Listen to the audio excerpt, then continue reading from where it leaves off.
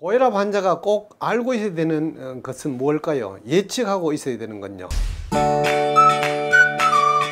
고혈압 환자는 이런 이런 문제가 앞으로 생길 수 있다 하는 것은 꼭 알고 있어야 되죠.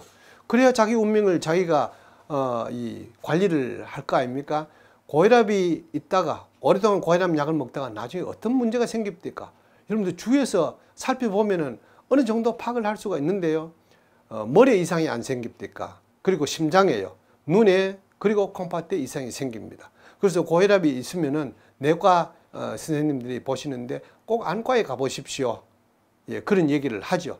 그리고 벌써 문제가 생겨서 어, 내과 고혈압 약뿐만 아니라 다른 과의 약도 겸해서 쓰는 그런 사람들이 꽤 많지 않습니까? 이걸 꼭 알고 계셔야 됩니다. 근데 처음에는 고혈압을 시작했지만 다음에 다른 어떤 병이 뒤따라 온다는 것을 모르고 있으면은 그런 병들이 생기는 것을 그냥 방치하고 있는 그런 결과가 되는 것 아닙니까? 어, 고혈압이 있으면은 그 다음에 뒤따라오는 것이 뇌혈관병입니다. 머리 혈관이 막히거나 터지는 병입니다. 머리는 굉장히 중요하지 않습니까? 뇌는 어, 우리 사람 몸 전체를 통제하는 곳입니다. 어, 그러니까 어, 이 머리에 이상 생겨버리면 몸이 통제가 안 되는 것이죠. 그리고 심장혈관이 막힙니다. 요즘 심장혈관이 막히는 병이 얼마나 많습니까? 심근경색이라는 그런 병이죠. 그리고 눈에 이상이 많이 생깁니다. 망막에 혈관이 터지거나 막히는 병입니다. 그리고 어, 콩팥에 이상이 생깁니다. 요즘 콩팥 이상이 생긴 사람들이 대단히 많습니다. 굉장히 빨리 늘고 있고요. 다 이게 고혈압만 있다가 이런 문제가 나중에 생기는 것입니다. 고혈압이 있다는 것은 앞으로 이런 병이 생길 수 있는 후보자라는 것을 꼭 기억을 하셔야 됩니다.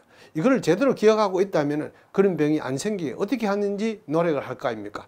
그런데 이런 병이 생긴다는 것을 생각을 못하고 있다가 어느 날 갑자기 떡 이런 문제가 생기니까 깜짝 놀라는 것이죠. 마른 하늘의 날벼락이라 생각하는데 절대로 그렇지 않습니다. 혈압은 언제부터 올라갈까요? 해로운 음식을 먹을 때부터 먹기 시작할 때부터 올라간다고 생각합니다.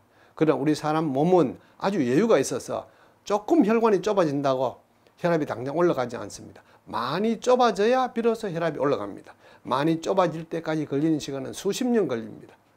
어, 사람은 해로운 음식을 3살 때쯤부터 먹습니다. 3살 때쯤 되면 고기를 먹지 않습니까? 그럼 혈관이 좁아집니다. 서서히 좁아지는데 어, 좁아지다가 나중에 한 30, 40살쯤 되면은 비로소 혈압이 올라갑니다. 3, 40년 동안 혈관은 좁아지고 있지만은 어, 이 표가 안 난다는 것이죠. 그래서 사람들은 이, 이 무관심합니다. 이거 먹어도 혈압이 안 올라가던데 지금까지 30년 동안 먹어왔는데 괜찮다 이렇게 생각을 합니다만은 우리 사람 몸이 여유가 있어서 그렇게 좀 어, 문제가 생기는 것을 좀 늦춰줄 뿐이지 문제가 생기는 것은 나중에 피할 수가 없습니다. 그래서 젊을수록 음식을 가려 먹는 것은 어, 더 필요한 것이죠. 문제가 생겨서 다급해서 발등에 불이 떨어졌을 때 할 것이 아니라 미리 해야 되죠.